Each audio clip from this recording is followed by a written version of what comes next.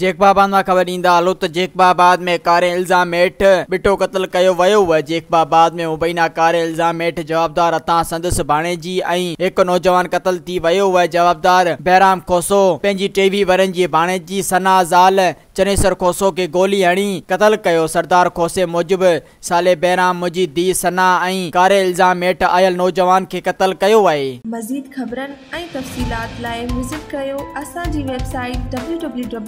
अवामी news H D dot com ऐं ॾिसंदा रहो अवामी न्यूज़ एच डी